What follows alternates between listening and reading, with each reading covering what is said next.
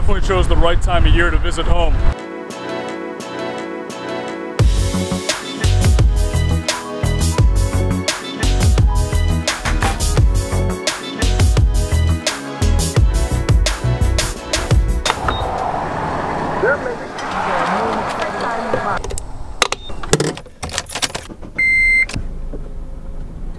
The surf's been a lot of fun these last few days. It's been really awesome.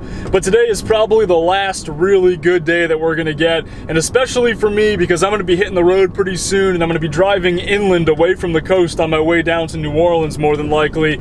So I'm probably not gonna get to surf good conditions like this for a long time.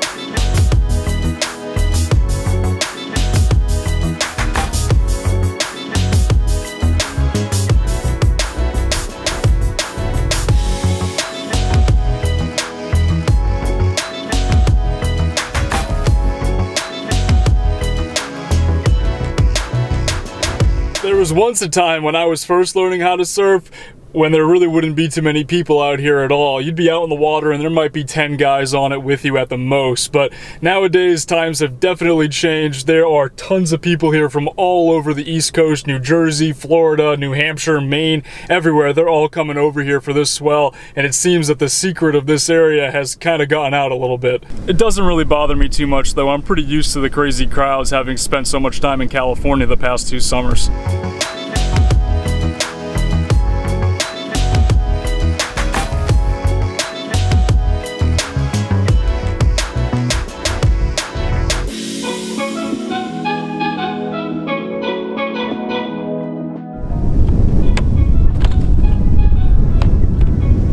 That's just about as good as it gets. It's absolutely firing.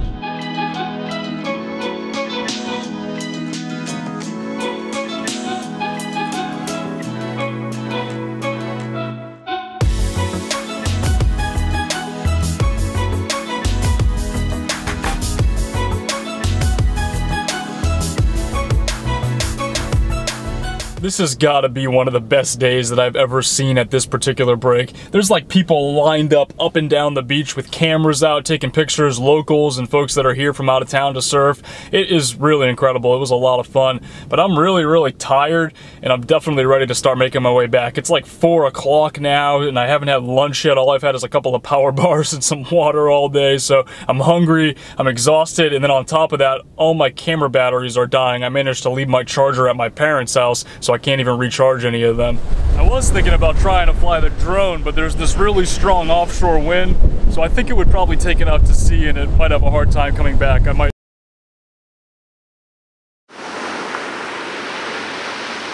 and it's gone. Decided to come back down this morning and try to get some leftovers, but it is almost completely flat. It's crazy how overnight it went from as big as it was yesterday to absolutely nothing. I'll find a wave somewhere and get to paddle out for an hour or so. It'll still be fun, and at least I'll get to fly the drone. The wind's a lot lighter today.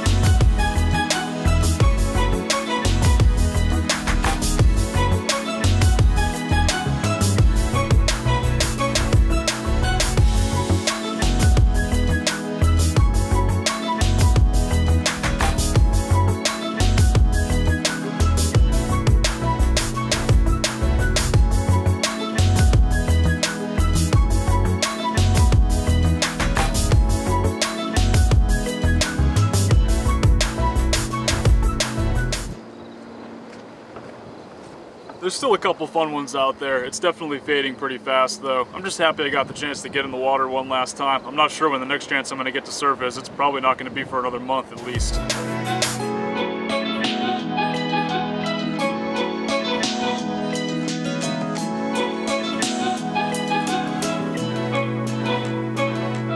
So after surfing this morning, I ended up meeting up with one of my good friends and one of his friends, and we're now playing disc golf. This is the first time I've ever done this before, so it's definitely been pretty interesting.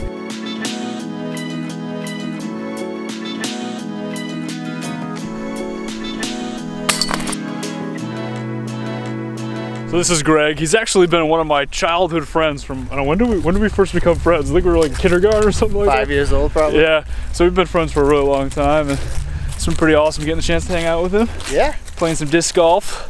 I'm not very good, but I did just make a bogey on the last hole, so that was cool.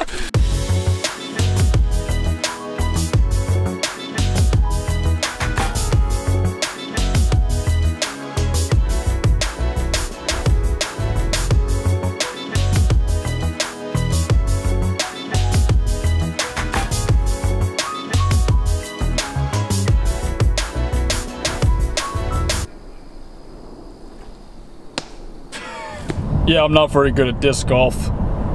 But it was fun getting the chance to give it a try, getting the chance to hang out with Greg. He kicked my butt, taught me a few things, so I'll have to try it another time in the future, but my arm's pretty sore and it's a lot harder than it looks.